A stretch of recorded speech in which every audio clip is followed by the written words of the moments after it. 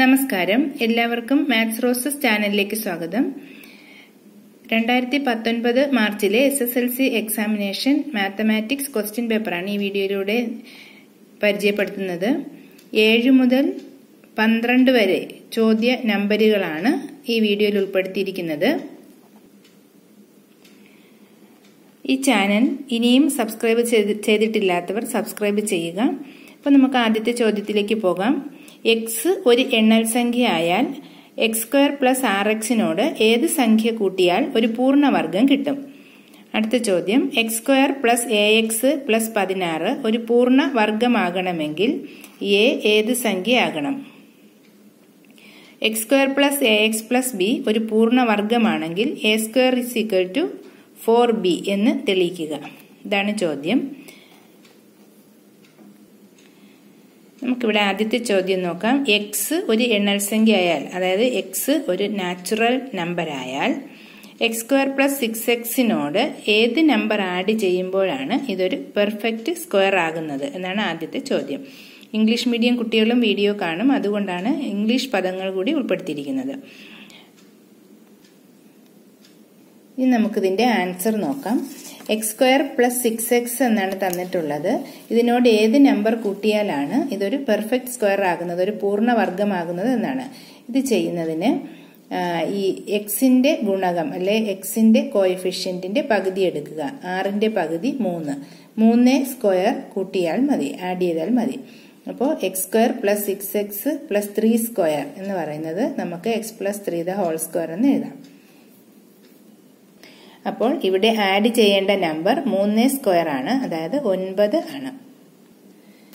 അതിന്റെ B part X square plus A X plus sixteen ഒരു perfect square ആകണമെങ്കിൽ അതായത് ഒരു പൂർണ വർഗമാകണമെങ്കിൽ എ ഏത് നമ്പർ ആകണം? എ ഏത് സംഖ്യ ആകണം? ഇതാണ് രണ്ടാമത്തെ ചോദ്യം. ഇനി നമുക്കിതിന്റെ ആൻസർ നോക്കാം. A X square plus B X plus C ഒരു പൂർണ വർഗമാകണമെങ്കിൽ അതായത് ഒരു പെർഫെക്റ്റ് സ്ക്വയർ ആകണമെങ്കിൽ B square minus four A C പൂജ്യമാകണം. അപ്പോൾ ഇവിടെ X square plus A X plus sixteen ഒരു പെർഫെക്റ്റ് സ്ക്വയർ ആകണമെങ്കിൽ B square minus four A C ഇവിടെയും പൂജ്യമാകണം. അപ്പോൾ ഇവിടെ ബി ഇവിടെ ബി എന്ന് പറയുന്നത് എക്സിന്റെ കോയിഫിഷ്യന്റ് ആണ്. എക്സിന്റെ കൂടെ വരുന്ന സംഖ്യയാണ്. അപ്പോൾ ഇവിടെ ബി സ്ക്വയറിന് പകരം ഇവിടെ എക്സിന്റെ കൂടെ വരുന്ന സംഖ്യ എ സ്ക്വയർ മൈനസ് നാല് ഗുണം എ എ എന്ന് പറയുന്നത് ഇവിടെ എ എക്സ് സ്ക്വയർ എ ഒന്നാണ്. അതുപോലെ സി പതിനാറാണ്. അപ്പോൾ four into one into sixteen equal to zero എന്ന് എഴുതാം. അപ്പോൾ A square minus four into sixteen into one sixty four ആണ്. അപ്പോൾ A square is equal to ഈ മൈനസ് സിക്സ്റ്റി ഫോർ ഇവിടെ വരുമ്പോൾ സിക്സ്റ്റി ഫോർ ആയി. അതുകൊണ്ട് എ എന്ന് പറയുന്നത് റൂട്ട് ഓഫ് സിക്സ്റ്റി ഫോർ ആണ്. A square is equal to sixty four ആണ്. അതുകൊണ്ട് A is equal to root of sixty four അപ്പോൾ പ്ലസ് എയ്റ്റും വരാം മൈനസ് എയ്റ്റും വരാം. അപ്പോൾ എയുടെ വില? Plus eight or minus eight next question X square plus A X plus B ഒരു പൂർണ വർഗമാണെങ്കിൽ അതായത് ഒരു പെർഫെക്റ്റ് സ്ക്വയർ ആണെങ്കിൽ A square is equal to four B എന്ന് തെളിയിക്കാനാണ്. അപ്പോൾ ഇവിടെയും ഇത് പെർഫെക്റ്റ് സ്ക്വയർ അല്ലെങ്കിൽ പൂർണ വർഗമാണെങ്കിൽ B square minus four A C zero ആവണം. അപ്പോൾ നമുക്കിവിടെ B square minus four S ഇവിടെ ബി എന്ന് പറയുന്നത് എ ആണ്. A square minus four into one into B equal to zero എന്ന് എഴുതാം. അപ്പോൾ A square minus four B equal to zero അപ്പോൾ A square is equal to four B എന്ന് കിട്ടുന്നു. ഇതാണ് നമുക്ക് തെളിയിക്കേണ്ടത്. അടുത്ത എട്ടാമത്തെ ചോദ്യം. ചിത്രത്തിൽ കോൺ ബി സമം നയന്റി ഡിഗ്രി കോൺ സി സമം നാൽപ്പത്തിനാല് ഡിഗ്രി തന്നിട്ടുണ്ട്. കോൺ എയുടെ അളവ് എന്താണ് ആംഗിൾ എ എത്രയാണ്? ഇതാണ് ആദ്യത്തെ ചോദ്യം. ഈ ഫിഗറിൽ നോക്കിയാൽ തന്നെ നമുക്കറിയാം ആംഗിൾ എ എന്ന് പറയുന്നത് ഈ ആംഗിൾ ബി നയന്റി ഡിഗ്രി ആണ് അപ്പോൾ ആംഗിൾ സിയും ആംഗിൾ എയും ആഡ് ചെയ്യുമ്പോൾ നയന്റി ഡിഗ്രി വരണം. അപ്പോൾ ആംഗിൾ എയുടെ അളവ് നയന്റി മൈനസ് ഫോർട്ടി ഫോർ ആണ്. അപ്പോൾ നമുക്ക് ഫോർട്ടി സിക്സ് എന്ന് കിട്ടും. താഴെ കൊടുത്തിരിക്കുന്നവയിൽ ഏതാണ് ടാൻ ഫോർട്ടി ഫോർ അപ്പോൾ ടാൻ ഫോർട്ടി ഫോർ എന്ന് വെച്ചാൽ എതിർവശം ബൈ സമീപവശം അല്ലെങ്കിൽ opposite side by adjacent side ഇവിടെ ഫോർട്ടി ഫോർ ഡിഗ്രിയുടെ ഓപ്പോസിറ്റ് സൈഡ് എ ബി ആണ് അഡ്ജസൻ സൈഡ് ബി സി ആണ്. അപ്പോൾ A B by B C ആണ് ശരിയായ ആൻസർ അടുത്ത question tan forty four degree into tan forty six degree equal to one എന്ന് തെളിയിക്കാനാണ്. അപ്പോൾ നമ്മളിവിടെ ടാൻ ഫോർട്ടി ഫോറും ടാൻ ഫോർ ഫോർട്ടി സിക്സും കണ്ടുപിടിക്കുന്നു രണ്ടും കൂടെ മൾട്ടിപ്ലൈ ചെയ്യുന്നു. നമുക്ക് നോക്കാം.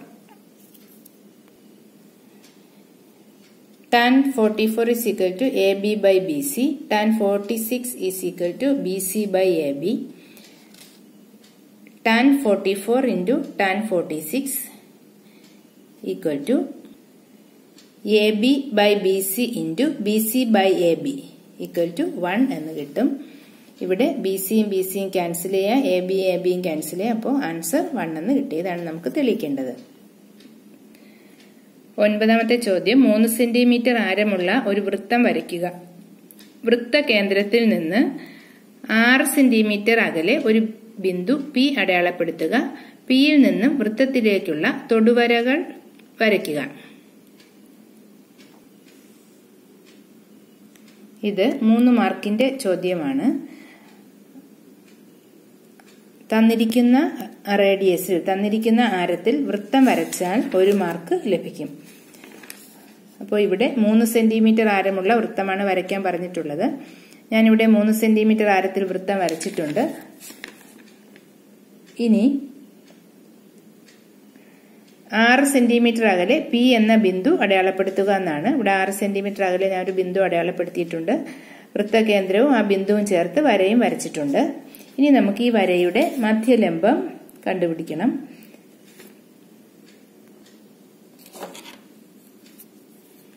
അതിനായി ഞാനിവിടെ ഒ പി ഒ പിയുടെ മധ്യലംബം വരച്ചിട്ടുണ്ട്. ഒയിൽ നിന്നും രണ്ട് വശത്തും ആരം വരച്ചു? പകുതിയിൽ കൂടുതൽ ദൂരത്തിൽ നീള ആരമെടുത്ത് വരയ്ക്കുന്നു. അതുപോലെ പിയിൽ നിന്ന് വരയ്ക്കുന്നു. ഇങ്ങനെ മധ്യലംബം വരയ്ക്കുന്നു. ഇപ്പം നമുക്ക് ഒ പിയുടെ മധ്യബിന്ദു കിട്ടി. ഇനി ഈ ബിന്ദു കേന്ദ്രമാക്കി ഓയിൽ കൂടിയും പിയിൽ കൂടിയും കടന്നു പോകുന്ന വൃത്തം വരയ്ക്കണം. ഇപ്പോൾ ഞാനിവിടെ ഓയിൽ കൂടിയും പിയിൽ കൂടിയും കടന്നു പോകുന്ന വൃത്തം വരച്ചിട്ടുണ്ട്. ഇനി പിയിൽ നിന്ന് ഈ രണ്ട് വൃത്തങ്ങളും കൂട്ടിമുട്ടിയ ബിന്ദുവിലേക്ക്. ഇത് ഞാൻ വരച്ചപ്പോൾ കോമ്പസ് തെന്നിപ്പോയതാണ്. ഇത് തെറ്റിപ്പോയി. അപ്പോൾ ഇതാണ് ശരിയായിട്ടുള്ള വൃത്തം. അപ്പോൾ ഈ രണ്ട് വൃത്തങ്ങളും കൂട്ടിമുട്ടിയ ബിന്ദു ഇവിടെയും ഇവിടെയും രണ്ട് ബിന്ദുവാണ്. ഇനി പിയിൽ നിന്നും ഈ ബിന്ദുവിലേക്കും പിയും ഈ ബിന്ദുവും ചേർത്തും രണ്ട് വര വരയ്ക്കുക. ഇതായിരിക്കും തൊടുവരകൾ. ഇവിടെ ഞാൻ തൊടുവരകൾ അല്ലെങ്കിൽ ടാൻജൻസ് വരച്ചിട്ടുണ്ട്.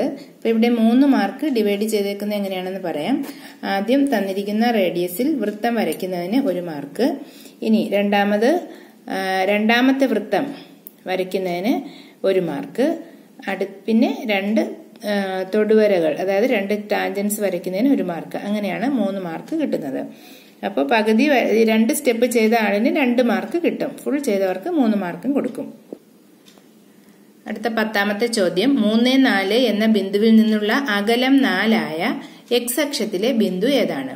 അടുത്ത ചോദ്യം. മൂന്ന് നാല് എന്ന ബിന്ദുവിൽ നിന്നുള്ള അകലം അഞ്ചായ എക്സ് അക്ഷത്തിലെ ബിന്ദുക്കൾ ഏതൊക്കെയാണ്? ഇതാണ് ചോദ്യം.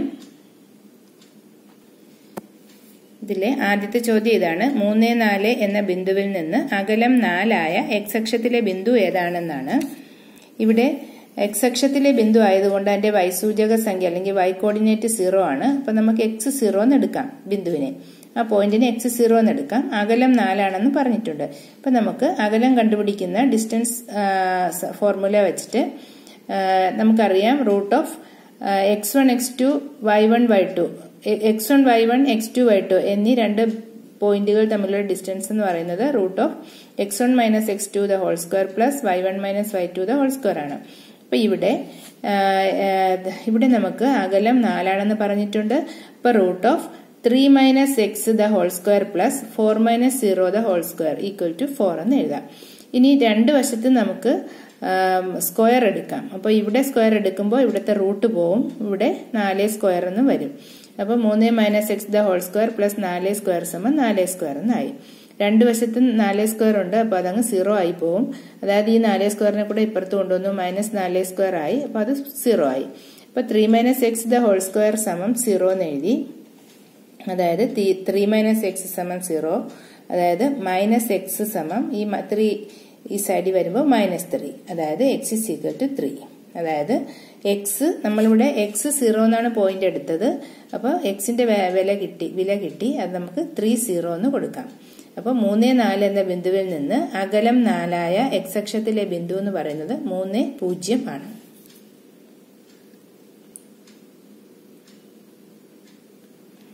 അടുത്ത ചോദ്യം. മൂന്ന് നാല് എന്ന ബിന്ദുവിൽ നിന്ന് അകലം അഞ്ചായ എക്സ് അക്ഷത്തിലെ ബിന്ദുക്കൾ ഏതൊക്കെയാണ് എന്നാണ്. അപ്പോൾ നമുക്കിവിടെ നേരത്തെ ചെയ്തതുപോലെ അകലത്തിന്റെ ഇക്വേഷൻ എഴുതാം. മൂന്ന് റൂട്ട് ഓഫ് മൂന്ന് minus x the whole square plus നാല് minus zero the whole square സമം ഫൈവ് എന്ന് എഴുതാം. ഇവിടെ അകലം അഞ്ചാണെന്ന് തന്നിട്ടുണ്ട്. ഇനി ഈ സമവാക്യത്തിന്റെ രണ്ട് വശത്തും സ്ക്വയർ എടുക്കാം. ഇപ്പൊ ഇവിടെ സ്ക്വയർ എടുക്കുമ്പോൾ ഇവിടുത്തെ റൂട്ട് പോവും. ഇപ്പൊ മൂന്ന് minus x the whole square plus four square സമം അഞ്ച് സ്ക്വയർ എന്നായി ഇവിടെ നമുക്കിതിനെ A minus B the whole square വെച്ച് ഇതിനെ എക്സ്പാൻഡ് ചെയ്ത് എഴുതാം. അപ്പോൾ three square minus six x plus x square എന്ന് എഴുതാം. പ്ലസ് നാല് സ്ക്വയർ എന്ന് വെച്ചാൽ sixteen equal to twenty five ഇനി എക്സ് സ്ക്വയർ ആദ്യം എഴുതി മൈനസ് സിക്സ് എക്സ് രണ്ടാമത് എഴുതി ത്രീ സ്ക്വയർ അവസാനം എഴുതി. Plus sixteen equal to twenty five അതായത് x square minus six x plus three square nine plus sixteen equal to twenty five ഇവിടെ ഒൻപതും പതിനാറും കൂട്ടുമ്പോൾ ഇരുപത്തഞ്ചാണ്. അപ്പോൾ നമുക്ക് x square plus six x എന്ന് പറയുന്നത് ഈ ട്വന്റി ഫൈവ് ഇവിടെ വരുമ്പോൾ twenty five minus twenty five zero ആകുന്നു. അപ്പോൾ ഇതിനെ നമുക്ക് എക്സ് ഇന്റു രണ്ട് ടേമിലും എക്സ് ഉണ്ട്. അപ്പോൾ x പുറത്തെടുത്താൽ x into x minus six equal to zero എന്ന് എഴുതാം. ഒന്നുകിൽ അപ്പോൾ എക്സ് സീറോ ആകണം അല്ലെങ്കിൽ എക്സ് മൈനസ് സിക്സ് സീറോ ആകണം. അപ്പോൾ x is equal to zero എന്നൊരു വില കിട്ടുന്നു. X minus six is equal to zero എന്നൊരു വില കിട്ടുന്നു. അപ്പോൾ x is equal to zero or x is equal to ഇവിടെ എക്സ് മൈനസ് സിക്സ് സീറോ ആയാൽ x is equal to six എന്ന് എഴുതാം. അപ്പോൾ പോയിന്റ് സീറോ സീറോ നമ്മൾ എക്സ് സീറോ എന്നാണ് പോയിന്റ് എടുത്തത്. അപ്പോൾ എക്സിന് രണ്ട് വിലകൾ കിട്ടി സീറോയും സിക്സും അപ്പോൾ രണ്ടും കൊടുത്തെഴുതാം. സീറോ സീറോ സിക്സ് സീറോ അപ്പോൾ മൂന്ന് നാല് എന്ന പോയിന്റിൽ നിന്ന് അഞ്ച് സെന്റിമീറ്റർ അഞ്ച് സെന്റിമീറ്റർ അകലെയുള്ള എക്സ് അക്ഷത്തിലെ ബിന്ദുക്കളാണ് പൂജ്യം പൂജ്യം ആറ് പൂജ്യം. അടുത്ത ചോദ്യം പതിനൊന്നാമത്തെ ചോദ്യം. ഒരു സമചതുര സ്തൂപികയുടെ ഒരു പാർശ്വമുഖമാണ് ചിത്രത്തിലുള്ളത്. A B equal to A C equal to twenty five centimetre B D equal to D C equal to fifteen centimetre. അതായത് ഇവിടെ ഒരു സമചതുര സ്തൂപികയുടെ അതായത് സ്ക്വയർ പിരമിഡിന്റെ ലാറ്ററൽ സർഫസ് പാർശ്വമുഖമാണ് ഇവിടെ തന്നിട്ടുള്ളത്. എ ബിയുടെ ലെങ്തും എ സിയുടെ ലെങ്തും ട്വന്റി ഫൈവ് ആണ്. അതുപോലെ ബി ഡിയും ഡി സിയും ഫിഫ്റ്റീൻ ആണെന്ന് തന്നിട്ടുണ്ട്. ആദ്യത്തെ ക്വസ്റ്റ്യൻ സ്തൂപികയുടെ പാദവക്കിന്റെ നീളം എന്താണ്? ഈ പിരമിഡിന്റെ ബേസ് എഡ്ജിന്റെ ലെങ്ത് എന്താണെന്നാണ് ചോദ്യം. ഇവിടെ നമുക്ക് ഇവിടെ കാണുമ്പോൾ തന്നെ അറിയാം. ഫിഫ്റ്റീനും ഫിഫ്റ്റീനും കൂടെ ആഡ് ചെയ്ത് എഴുതുക മുപ്പത് പതിനഞ്ച് പ്ലസ് പതിനഞ്ച് മുപ്പതാണ് പാദവക്കിന്റെ നീളം. ഇനി സ്തൂപികയുടെ പാർശ്വമുഖ പരപ്പളവ് കണക്കാക്കാനാണ് ചോദ്യം. പാർശ്വമുഖ പരപ്പളം എന്ന് പറഞ്ഞാൽ ഈ ലാറ്ററൽ സർഫസിന്റെ ഏരിയ ആണ് അപ്പോൾ ഇതിന്റെ ഏരിയ കാണുന്നതിന്റെ പരപ്പളവ് കാണാൻ സമവാക്യം നമുക്കറിയാം ടു എ എൽ എന്നാണ്. Two into A into L. L എന്ന് പറയുന്നത് ഇതാണ് ചരിവുയരമാണ്. അപ്പം നമുക്കിത് കണ്ടുപിടിക്കണം. ഇത് കണ്ടുപിടിക്കാൻ ഇവിടെ ഒരു റൈറ്റ് ആംഗിൾ ട്രയാങ്കിൾ ഉണ്ട്. ഇത് എഡ്ജ് ഇതിനെ നമുക്ക് ഈ ഈക്വൽ ടു ട്വന്റി ഫൈവ് എന്ന് എഴുതാം. അതുപോലെ എ പാദവക്കിന്റെ പകുതി എ ബൈ ടു പതിനഞ്ചെന്നറിയാം. അപ്പം നമുക്കിവിടെ എൽ കണ്ടുപിടിക്കാം. ഈ ചരിവ് ഉയരം കണ്ടുപിടിക്കാം. ഇവിടെ ചരിവ് ഉയരം L equal to E square minus A by two square. അതായത് twenty five square minus fifteen square. അപ്പൊ നമുക്ക് ട്വന്റി സെന്റിമീറ്റർ എന്ന് കിട്ടും. ഇനി പാർശ്വമുഖ പുരപ്പളവ് അല്ലെങ്കിൽ ലാറ്ററൽ സർഫസ് ഒരു സൈഡിന്റെ ഏരിയ എന്ന് പറയുന്നത് ടു എ എൽ ആണ് ഇക്വേഷൻ. ഇപ്പൊ two into thirty into twenty ആയിരത്തി ഇരുന്നൂറ് സെന്റിമീറ്റർ സ്ക്വയർ എന്ന് കിട്ടുന്നു.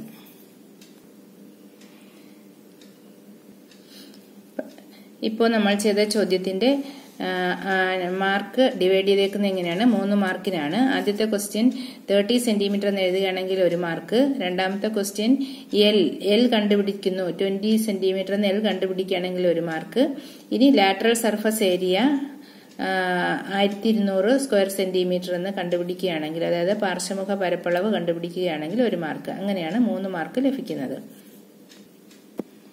അടുത്ത ചോദ്യം. എ ബി സി എന്ന ത്രികോണത്തിൽ കോൺ എ സമം മുപ്പത് ഡിഗ്രി ആംഗിൾ എ സമം തേർട്ടി ഡിഗ്രി ആംഗിൾ ബി സമം എൺപത് ഡിഗ്രി കോൺ ബി എൺപത് ഡിഗ്രി. ത്രികോണത്തിന്റെ പരിവൃത്ത ആരം നാല് സെന്റിമീറ്റർ. ത്രികോണം വരയ്ക്കുക. ത്രികോണത്തിന്റെ ചെറിയ വശത്തിന്റെ നീളം അളന്നെഴുതുക. ഇതാണ് ചോദ്യം. അതായത് എ ബി സി എന്ന triangle angle A thirty degree angle B eighty degree. ട്രയാങ്കിളിന്റെ സർക്കം റേഡിയസ് ഫോർ സെന്റിമീറ്റർ ആണ് ട്രയാങ്കിൾ വരയ്ക്കുക ട്രയാങ്കിളിന്റെ ഏറ്റവും ചെറിയ സൈഡിന്റെ ലെങ്ത് അളന്നെഴുതാനാണ് ചോദ്യം. ഇവിടെ angle A thirty degree angle B eighty degree എന്നാണ് തന്നിട്ടുള്ളത്. ഇപ്പോൾ ഇതിന്റെ രണ്ടിന്റെയും ഇരട്ടി എടുക്കുക. എൺപതിന്റെ ഇരട്ടി നൂറ്റി അറുപത് മുപ്പതിന്റെ ഇരട്ടി അറുപത്. അപ്പം ആദ്യം നാല് സെന്റിമീറ്റർ റേഡിയസ് ഉള്ള ആരത്തിലുള്ള വൃത്തം വരയ്ക്കുക. അതിനുശേഷം ഇങ്ങനെ ഒരു ആരം വരയ്ക്കുക. പ്രൊട്രാക്ടർ എടുത്ത് ഇവിടെ നിന്ന് നൂറ്റി അറുപത് ഡിഗ്രി അതായത് എൺപതിന്റെ ഇരട്ടി നൂറ്റി അറുപത് ഡിഗ്രി എടുത്ത് ആരം വരയ്ക്കുക. അവിടെ നിന്ന് വീണ്ടും ഈ മുപ്പതിന്റെ ഇരട്ടി അറുപത് ഡിഗ്രി എടുത്ത് വരയ്ക്കുക. ഇനി നമുക്ക് നമ്മൾ ചെയ്യേണ്ടത് ഈ ബിന്ദു വൃത്തത്തിൽ തൊടുന്ന ഈ ബിന്ദുവും ദാ ഈ ബിന്ദുവും ദാ ഈ ബിന്ദുവും ചേർത്ത് വരച്ചു കൊടുക്കുക. ത്രികോണം ലഭിക്കുന്നു. ഇനി നമുക്കിതിന്റെ ഏറ്റവും ചെറിയ വശത്തിന്റെ നീളം അളന്നെഴുതുകയും വേണം. ഞാനിവിടെ ത്രികോണം വരച്ചു. ഇനി ഇവിടെ നൂറ്റി അറുപത് ഡിഗ്രി ഈ കോൺ നൂറ്റി അറുപത് ഡിഗ്രി ഈ കേന്ദ്രകോൺ നൂറ്റി അറുപത് ഡിഗ്രി ആയതുകൊണ്ട് ഈ കോൺ എൺപത് ഡിഗ്രി ആയിരിക്കും. അത് കോൺ ബി ആണ് എൺപത് ഡിഗ്രി. അപ്പം ഞാനിവിടെ ബി എന്ന് പേര് കൊടുത്തു. അതുപോലെ ഈ ഇവിടെ കേന്ദ്രകോൺ അറുപത് ആയതുകൊണ്ട് ഈ കോൺ മുപ്പത് ഡിഗ്രിയാണ് അതുപോലെ ഇത് ഒരു ത്രികോണം എ ബി സി ആയി. അപ്പോൾ ഇവിടെ ഒരു കോൺ മുപ്പത് ഒരു കോൺ എൺപത്. അപ്പം മറ്റേ കോൺ എഴുപത് ഡിഗ്രി എന്ന് നമുക്ക് കണ്ടുപിടിക്കാം. ഇനി അടുത്തത് ഏറ്റവും ചെറിയ വശത്തിന്റെ നീളം അളന്നെഴുതാനാണ് ഇവിടെ ഏറ്റവും ചെറിയ കോൺ ത്രികോണ എ ബി സിയുടെ ഏറ്റവും ചെറിയ കോൺ മുപ്പതാണ്. മുപ്പതിനെതിരെ കിടക്കുന്ന വശമാണ്. ഏറ്റവും ചെറിയ വശത്തിനെതിരെ കിടക്കുന്ന വശമാണ്. ഏറ്റവും ചെറിയ കോണിന് എതിരെ കിടക്കുന്ന വശമാണ് ഏറ്റവും ചെറിയ വശം. ഇപ്പം മുപ്പത് ഡിഗ്രി കോണിനെതിരെ കിടക്കുന്ന വശം ബി സി ആണ്. ബി സിയുടെ നീളം സ്കെയിൽ വെച്ച് അളന്ന് എഴുതേണ്ടതാണ്. ഇനി നമുക്കിതിന് മാർക്ക് ഇടുന്നത് എങ്ങനെയാണെന്ന് നോക്കാം. നാല് മാർക്കിന്റെ ചോദ്യമാണ്. For drawing the circle with radius four centimetre പന്ത്രണ്ടാമത്തെ ചോദ്യമാണ്. അതായത് നാല് സെന്റിമീറ്റർ റേഡിയസ് ഉള്ള വൃത്തം വരയ്ക്കുകയാണെങ്കിൽ അതിന് ഒരു മാർക്ക് ലഭിക്കും. ഇനി for making central angle sixty and one sixty degree അതായത് അറുപത് നൂറ്റി അറുപത് ഡിഗ്രിയും നൂറ്റി അറുപത് ഡിഗ്രിയും ആംഗിളുള്ള കേന്ദ്രകോണുകൾ വര വരയ്ക്കുകയാണെങ്കിൽ അത് ഒരു മാർക്ക്. ഇനി ട്രയാങ്കിൾ വരയ്ക്കുന്നു. ത്രികോണം മൂന്ന് ബിന്ദുക്കളും മൂന്ന് മൂലകളും ചേർത്ത് ത്രികോണം വരച്ചിരിക്കുകയാണെങ്കിൽ അതിന് ഒരു മാർക്ക്. ഇനി സ്മോൾ സൈഡ് അളന്നെഴുതിയിട്ടുണ്ടെങ്കിൽ അതിന് ഒരു മാർക്ക് അങ്ങനെയാണ് നാല് മാർക്ക് ലഭിക്കുന്നത്. അപ്പോൾ ഇങ്ങനെ ഒരു ക്വസ്റ്റ്യൻ കിട്ടിയാൽ അവസാനം ഫുൾ വരയ്ക്കാൻ അറിഞ്ഞുകൂടെങ്കിൽ നമുക്ക് അറിയാമെന്നുള്ള സ്റ്റെപ്പ് വരച്ചു വെക്കുക. ആദ്യത്തെ ഒരു സ്റ്റെപ്പാണ് വരയ്ക്കുന്നതെങ്കിൽ അവിടെ ഒരു മാർക്ക് കിട്ടും. അതായത് സർക്കിൾ മാത്രം വരച്ചു വെച്ചാൽ അവിടെ ഒരു മാർക്ക് കിട്ടും. വൃത്തം മാത്രം വരച്ചാൽ ഒരു മാർക്ക് ലഭിക്കുന്നു. അതുപോലെ അടുത്തത് ഓരോ സ്റ്റെപ്പിനുമാണ് മാർക്ക് അപ്പോൾ ഫുൾ ക്വസ്റ്റ്യൻ ചെയ്യാൻ അറിഞ്ഞുകൂടെങ്കിലും അത് അറ്റൻഡ് ചെയ്യാതിരിക്കരുത്. നമ്മളെ കൊണ്ട് പറ്റുന്നത് എഴുതുക. നാല് മാർക്കിന്റെ ക്വസ്റ്റ്യൻ ചിലപ്പോൾ നമുക്ക് ഒന്നോ രണ്ടോ മാർക്ക് അവിടെ കിട്ടും പകുതി ചെയ്താലും. അപ്പോൾ ഇനി ബാക്കിയുള്ള ക്വസ്റ്റ്യൻസ് അടുത്ത വീഡിയോയിൽ നിങ്ങൾക്ക് കാണാം. ചാനൽ ഇതുവരെ സബ്സ്ക്രൈബ് ചെയ്തിട്ടില്ലാത്തവർ സബ്സ്ക്രൈബ് ചെയ്യുക. ഈ വീഡിയോ ഇഷ്ടമായെങ്കിൽ ലൈക്ക് ചെയ്യുക. അതുപോലെ നിങ്ങളുടെ അഭിപ്രായങ്ങൾ വീഡിയോയ്ക്ക് താഴെ കമന്റ് ചെയ്യാനും മറക്കരുത്. താങ്ക്